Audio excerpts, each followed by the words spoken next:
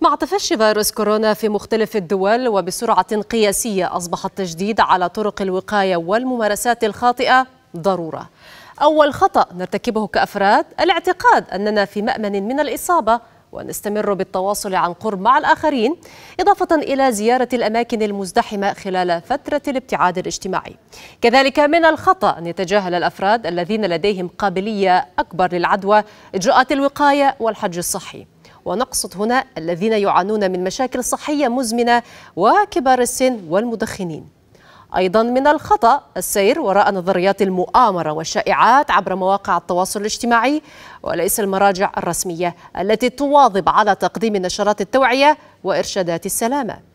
تعاطي أدوية خاطئة من دون وصفات طبية من الأخطاء الخطيرة أيضا. حذرت المراجع الطبية من استخدام الأدوية المضادة للالتهابات في حال ظهور أعراض تشبه أعراض فيروس كورونا المستجد. ومن غير الصحيح أيضا البحث عن العلاجات البديلة أو الطبيعية عوضا عن الالتزام بالحج الصحي. إلى جانب اعتماد نظام غذائي غير متوازن مما يؤثر سلبا على جهاز المناعة. وكذلك عدم تنفيذ التوصيات الصحية فيما يتعلق بالنظافة الشخصية كلمس العينين والأنف والفم واستخدام المنديل الواحد أكثر من مرة وملامسة مقابض الأبواب والأسطح من دون تعقيمها وتبادل الأدوات الشخصية أيضا. المبالغة في استخدام الكمامات والقفازات وتخزينها صعب هذا السلوك إمكانية حصول المرضى ومقدمي الرعاية لهم على الكمامات والقفازات أيضا.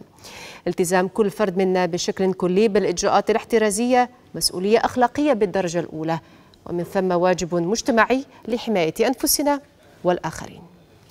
ينضم إلينا الآن من عمان استشاري الأمراض المعدية والفيروسات الدكتور فارس البكري. دكتور فارس أهلا بك معنا. استعرضنا الآن ربما بعض الأمثلة من بعض الممارسات الخاطئة والاعتقادات الخاطئة التي ما زال يمارسها ويعتقد فيها ويصدقها الكثيرون.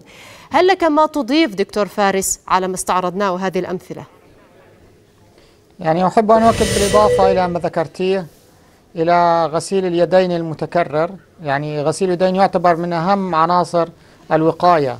آه، حتى عندما نلمس شيء ثم نلمس وجهنا أو عيننا آه، ينتقل الفيروس. فيجب أن نغسل يدينا قدر المستطاع. لا يوجد عدد لكن كلما نعتقد أنه يوجد فرصة للغسيل نقوم بذلك. بالماء والصابون أو بمادة كحولية. ما تفضلت به عن الدخان آه، أكيد آه، نحب أن نؤكد عليه. أن الناس الذين يدخنون عندهم أعراض أكثر مضاعفات أكثر في الكورونا فهذه فرصة مناسبة لترك الدخان. وكما قالت منظمة الصحة العالمية ليس متأخرا أن يترك الإنسان الدخان. يستطيع أن يلمس أثار ممتازة على الجهاز القلب والتنفسي وهذا يحميه من الإصابة بمضاعفات في الكورونا. وأحب أيضا أؤكد على التباعد الاجتماعي عندما يجلس انسان مثلا في بيته أو في اجتماع آه، يبقي على مسافة متر بينه وبين الآخرين. هذه كلها يعني أمور ضرورية. العناية بالأكل الغذاء الصحي آه، ضروري.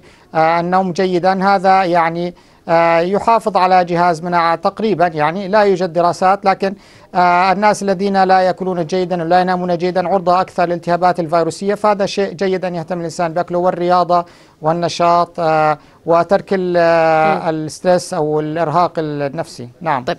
دكتور دعنا نتطرق آه، معك إلى نقطة مهمة ألا وهي موضوع التطهير والتعقيم والمعقمات والكحول. يعني بالإضافة لاهميه النظافة الشخصية ولكن نرى بأن هناك من اتجه إلى رش الكحول والمعقمات على كل شيء ليس فقط على الأسطح على الملابس على كل ما يحد بالشخص إلى أي مدى هذه عادة أو مفهوم صحيح أو خاطئ؟ لا لا ما لا أظن يعني رش الكحول على الملابس آه، شيء جيد يعني. آه، صعب جدا المادة الكحولية تغطي كل الملابس آه، لكن هو الخوف إنه مثلا ممكن إذا الإنسان يعمل في منطقة فيها مثل الرعاية الصحية ممكن مثلا نسبة الفيروس قد تكون عالية في في البيئة. ثم تلتصق في الملابس. نعرف أنها قد تأخذ ساعات. آه، أو لا نعرف بالضبط لكن قد تأخذ ساعات لأيام حتى يتخلص الإنسان منها. فينصح في ذلك مثلا تغيير الملابس آه، عند الدخول إلى البيت. يعني هذه الملاحظات. أما رش الكحول بدون آه، سبب لا ما, ما أظن. لكن غسيل الملابس ضروري جدا طبعا. طب دكتور ما هي النصائح الأخرى التي يمكن أن تعطينا إياها خاصة نحن الآن نتابع نقلا آه، عن آه، آه، بعض الوكالات تتحدث بأن عدد الإصابات الآن آه، بلغ أكثر من نصف مليون مصاب حول العالم. ما هي النصائح الأخرى التي يمكن اليوم أن نلجأ إليها دكتور للوقاية من هذا الفيروس؟ بالإضافة لكل ما ذكرناه. يعني الالتزام بالبيت ضروري جدا الالتزام بتعليمات الدولة بعدم التنقل عدم التجمعات هذا شيء ضروري جدا جدا جدا. آه، وثم ال- غسيل اليدين آه، الابتعاد عن التجمعات والمناطق الموبوءة أعتقد أن هذه والابتعاد عن الدخان أعتقد أن هذه من أهم الرسائل. وطبعا طبعا متابعة الأخبار الدقيقة. يوجد كثير من الإشاعات كما ذكرت قد تشتت الناس آه، قد تجعل عندهم آه، آه، شعور خاطئ بالأمان. آه، إذا تناول مثلا طعام معين أو كذا. آه، فنعم ننصح الناس باتباع الإرشادات والتعليمات الصحيحة والمصادر موثوقة جدا. شكرا لك على المشاركة معنا.